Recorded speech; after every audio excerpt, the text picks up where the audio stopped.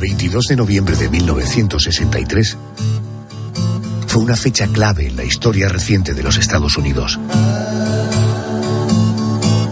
El presidente del país, John Fitzgerald Kennedy, acababa de llegar a Dallas a bordo del Air Force One para recorrer el centro de la ciudad en un coche descapotable, un Lincoln X100 a la vista de todos los ciudadanos.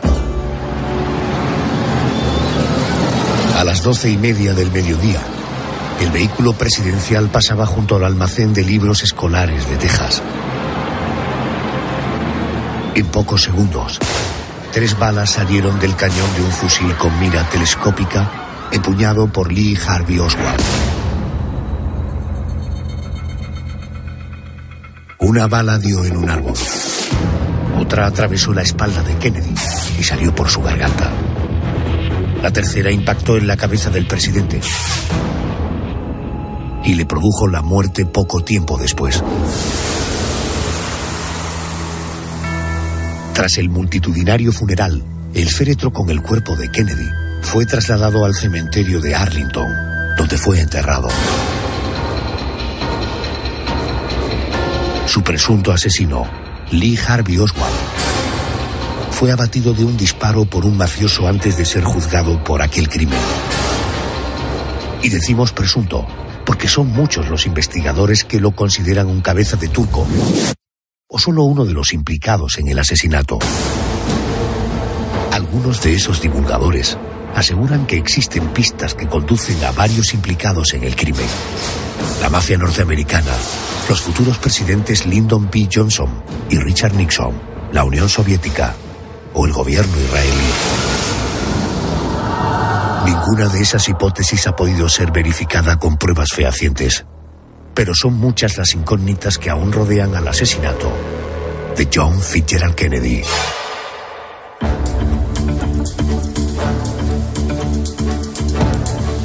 Mañana 22 de noviembre se cumplen 59 años del magnicidio más famoso de la historia.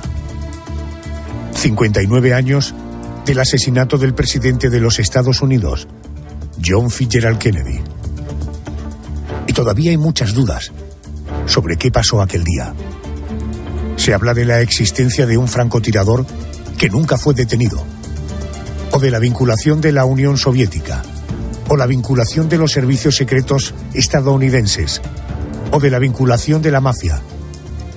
En todo caso, algunos creen que el asesino oficial, Lee Harvey Oswald, fue algo así como un cabeza de turco.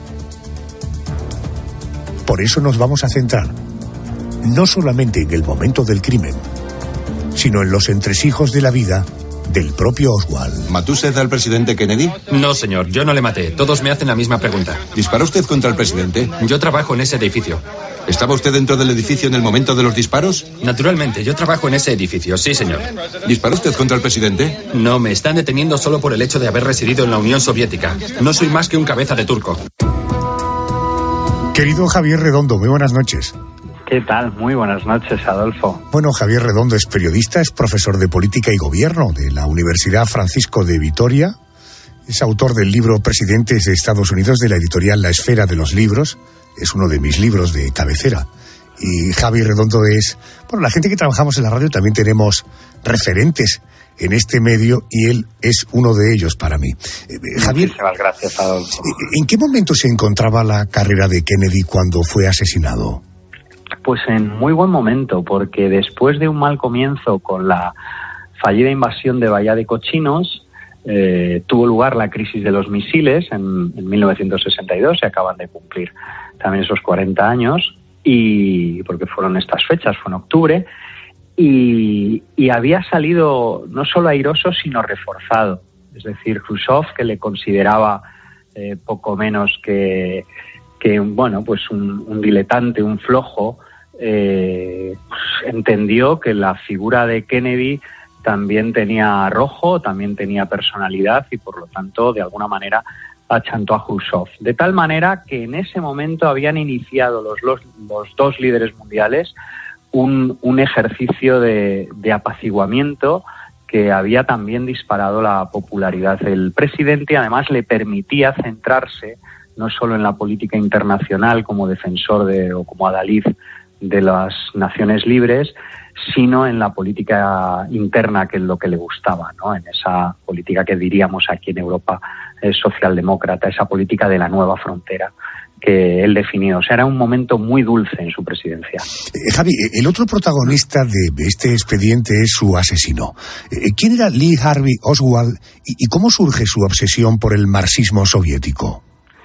Bueno, yo de entrada pienso que es un lunático, es, un lunático y pues, pues un loco desquiciado que había leído que precisamente por el acceso al a su trabajo, esos libros escolares y por esa también presencia del marxismo en el mundo académico, que, además es propio de ese tiempo, de, los años, de los años 60, de esa batalla cultural que había iniciado el, marxismo, pues tiene acceso a determinada eh, bibliografía, tiene acceso a los libros y queda seducido.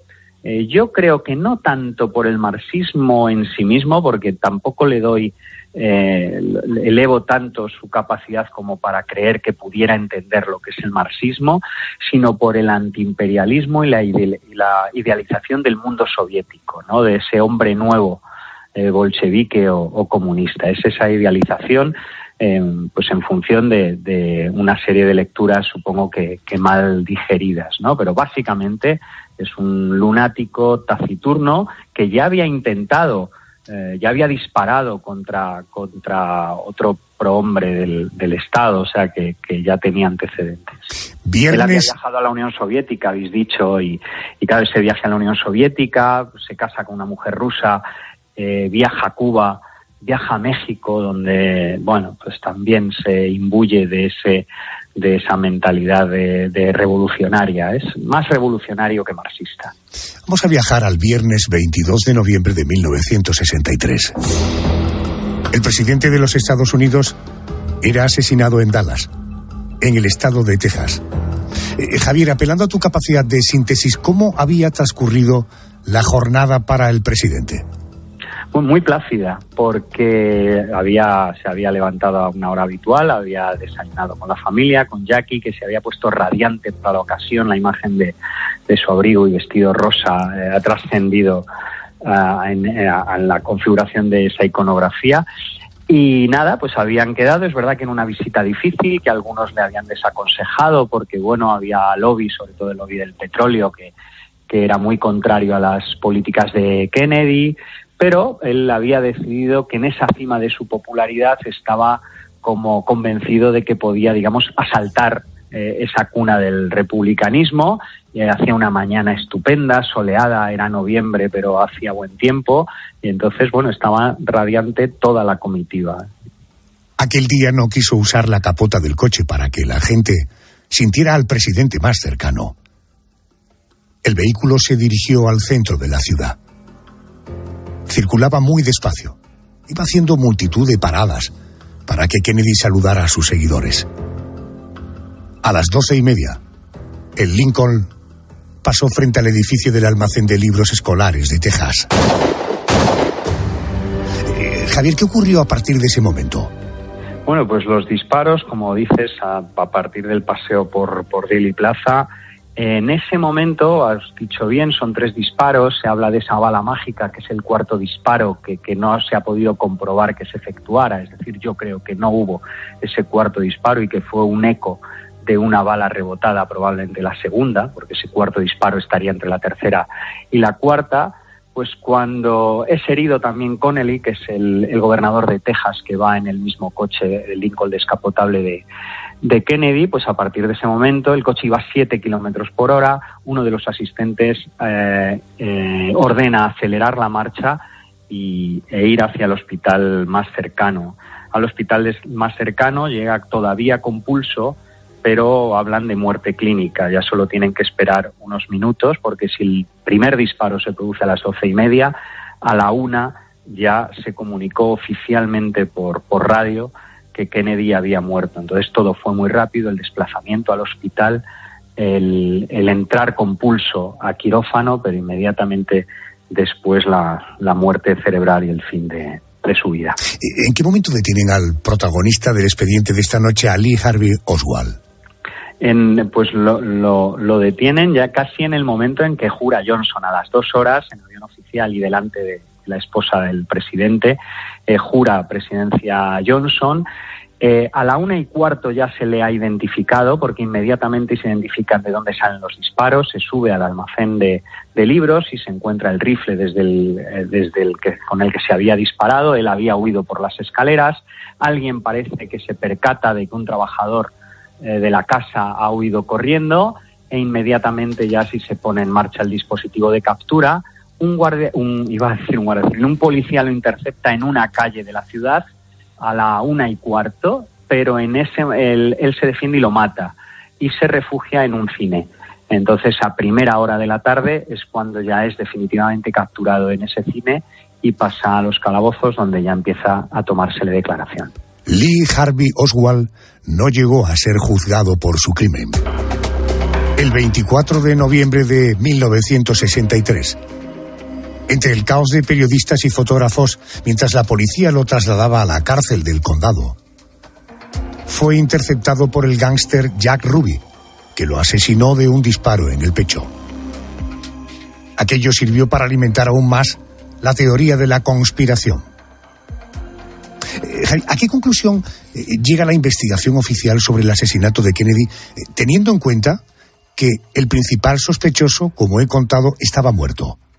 Sí, esto yo creo que el gran agujero negro es saber eh, de dónde, por qué lo mata Ruby, pero es verdad que lo puede matar, es el dueño de un club nocturno y también sabemos de la vida disoluta y desordenada de, Oswald, de tal manera que, bueno, lo puede matar por, por un quítame allá esas deudas, ¿no? Pero, pero es verdad que, aumenta el misterio el hecho de que Oswald fuera asesinado eh, a los dos días. El caso es que eh, las el, magnicidio ya adquiere una, una, una relevancia, obviamente, por, las características que lo produce y por tratarse de la muerte del presidente, hace que inmediatamente se active la comisión Warren, que en 1964 llega a la conclusión de que Oswald actuó solo. Lo que ocurre es que unos, ese es el informe oficial. Eh, lo que ocurre, se llama Warren porque es presidida por el juez Warren. Warren. Y lo que ocurre es que años más tarde, en 1973, acaba en el 76, se activa otra comisión en la Cámara de Representantes. Y esa comisión de la Cámara de Representantes introduce algunas dudas sobre esa cuarta bala, sobre la posibilidad de un lugar alternativo desde donde se pudiera disparar ese cuarto disparo por la trayectoria de las mismas y deja algunas dudas o algunas preguntas abiertas al respecto. Con la ley de secretos se tenía que haber, se tenían que haber abierto todos los archivos en el 92, pero se mantienen algunos eh, codificados o cerrados. Luego en 2017, luego se procede en 2021, pero la CIA sigue creyendo que deben guardarse algunos archivos secretos. Eso es porque eh, porque tienen que ver con la seguridad del Estado o la preservación de la seguridad de la nación. Entiendo. Eh, eso alimenta las sospechas, pero básicamente, aunque la comisión de la Cámara abre algunas dudas y algunas cuestiones que pretendió cerrar sin debate alguno la comisión Warren, eh, todo apunta a que actuó solo Oswald. Las dos comisiones apuntan inicialmente. Eh, déjalo ahí porque a partir de todo esto, naturalmente, eh, este magnicidio se ve rodeado de teorías de la conspiración eh, eh, eh, que si puede, detrás del asesinato de Kennedy estaba la CIA, que si estaba la KGB, la mafia, el gobierno israelí, una organización masónica. de todas ellas, digo ahora te ruego por favor que te desprendas del rigor académico y apelo a tu opinión, en fin, con toda la información que se ha sabido y a la que tú has tenido acceso. De todas ellas, estas teorías de la conspiración, ¿cuál te parece más disparatada y cuál, en tu opinión, es la más verosímil? A mí las dos más disparatadas me parecen precisamente de la, de la CIA y la KGB. Eh, es decir, la, KGB yo creo que no estaba en disposición de organizar un magnicidio de, estas características y, más someterlo a, la responsabilidad o al, buen hacer de un lunático como, como Oswald. Es más, las relaciones en ese momento, y eso se cuenta menos, pero las relaciones en ese momento entre Estados Unidos y, la Unión Soviética van por buen camino dentro de la desconfianza mutua porque ya ha emergido un enemigo común a los dos, que es China, que está iniciando sus primeras pruebas nucleares y de hecho eh, la Unión Soviética Khrushchev y luego Brezhnev lo habían identificado como la principal amenaza.